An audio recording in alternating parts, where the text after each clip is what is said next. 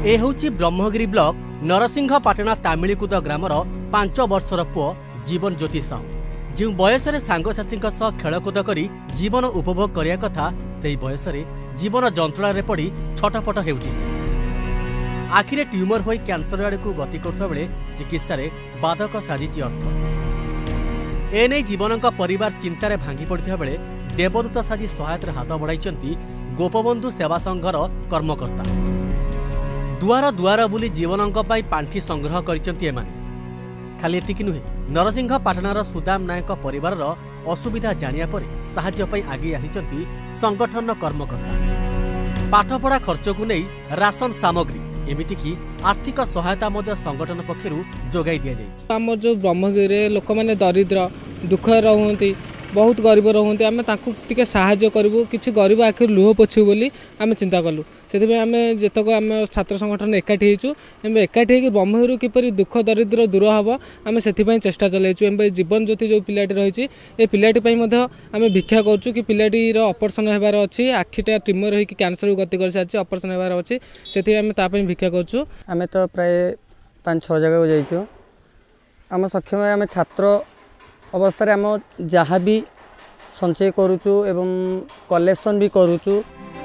ତେବେ ସବୁଠୁ ବଡ଼ କଥା ହେଉଛି ଏହି ସଂଗଠନର କର୍ମକର୍ତ୍ତା କୌଣସି ସମାଜସେବୀ ବା ପ୍ରତିଷ୍ଠିତ ବ୍ୟକ୍ତି ନୁହନ୍ତି ବରଂ ସମସ୍ତେ ହେଉଛନ୍ତି ଛାତ୍ର। ପାଠପଢ଼ା ସହ ସମାଜସେବାକୁ ଜୀବନର ବ୍ରତ କରିଛନ୍ତି ଏମାନେ। ମାନବ ସେବା ହିଁ ମାଧବ ସେବା। ଏ କଥାର ମର୍ମକୁ ବୁଝି ଗରିବଙ୍କ ଦୁଃଖର ସାଥୀ ପାଲଟିଛି ସଂଗଠନ। ପ୍ରାୟ ବର୍ଷେ ହେବ ଏଭଳି କାର୍ଯ୍ୟ କରିଆସୁଥିବା ବେଳେ ଆଗକୁ ଏଭଳି ସେବା ଜାରି ରଖିବେ ବୋଲି କହିଛନ୍ତି ସଂଗଠନର କର୍ମକର୍ତ୍ତା। ପାଠ ପଢ଼ିବା ଦ୍ୱାରା ବି ଆମର ବି ସମାଜର କିଛି ମଙ୍ଗଳ କରିବା ବି ଆମର କିଛି ସମାଜ ପ୍ରତି ଦୃଷ୍ଟି ଦେବା ଆମର ମାନେ କର୍ତ୍ତବ୍ୟ ଅଛି। ବ୍ରହ୍ମଗିରି ଅଞ୍ଚଳରେ ବହୁତ ଦୁଃଖୀ ଦର୍ଦିନ ପରିବାର ରହିଛନ୍ତି କିନ୍ତୁ ଲୋକଲୋଚନକୁ ଆସିପାରୁନାହାନ୍ତି। ଯେମିତି ଜୀବନ ଜ୍ୟୋତି। ଆମେ ଅର୍ଗସ ନ୍ୟୁଜ୍ରେ ପ୍ରସାରିତ ହେବା ପରେ ଆମେ ଜାଣିପାରିଲୁ ଯେ ଜୀବନ ଜ୍ୟୋତି ତାମିଲକୁଦି ଗାଁରେ ରହିଅଛି।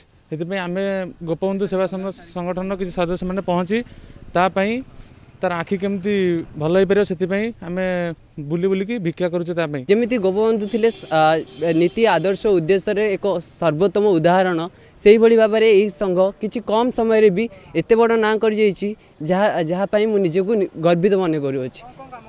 ଦେଖନ୍ତୁ ଆ, ବେଶୀ ସମୟ ନୁହଁ ବଟ୍ ବହୁତ କମ୍ ସମୟରେ ଇଏ ବ୍ରହ୍ମଗିରିର ବିଭିନ୍ନ କୋଣ ଅନୁକୋଣ ଜାଗା ବୁଲିକି ଲୋକମାନଙ୍କର ଅସୁବିଧା ସୁବିଧା ପଚାରିକି ତାହାକୁ ଲୋକଲୋଚନକୁ ଆଣିବାରେ ଏହା ପ୍ରମୁଖ ଭୂମିକା ଗ୍ରହଣ କରିଛି।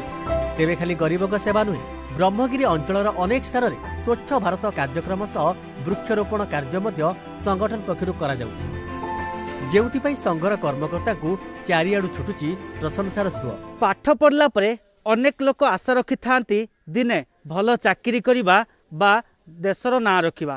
କିନ୍ତୁ ଅନେକ କିଛି ଯୁବକମାନେ ଆଶା ରଖିଛନ୍ତି ପାଠ ପଢ଼ିବା ସହ ସମାଜ ସେବା କରିବା। ଆମେ ଏପରି ଏକ କଥା କହୁଛୁ ବ୍ରହ୍ମଗିରି ଅଞ୍ଚଳର ଗୋପବନ୍ଧୁ ସେବା ସଂଗଠନର କଥା ଯେଉଁଠାରେ କି ଛାତ୍ରମାନେ ପାଠ ପଢ଼ିବା ସହିତ ସମାଜ ମଧ୍ୟ ସେବା କରିପାରୁଛନ୍ତି। ତ ଆଗାମୀ ଦିନ ଦେଖିବାକୁ ବାକି ହେଲା ଗୋପବନ୍ଧୁ ସେବା ସଂଗଠନ ପାଇଁ ସରକାରଙ୍କର କ'ଣ ସହାୟତା ମିଳୁଛି? ବ୍ରହ୍ମଗିରିରୁ କାଳୁଚରଣ ସାହୁ ଅର୍ଗସ୍ ନ୍ୟୁଜ୍।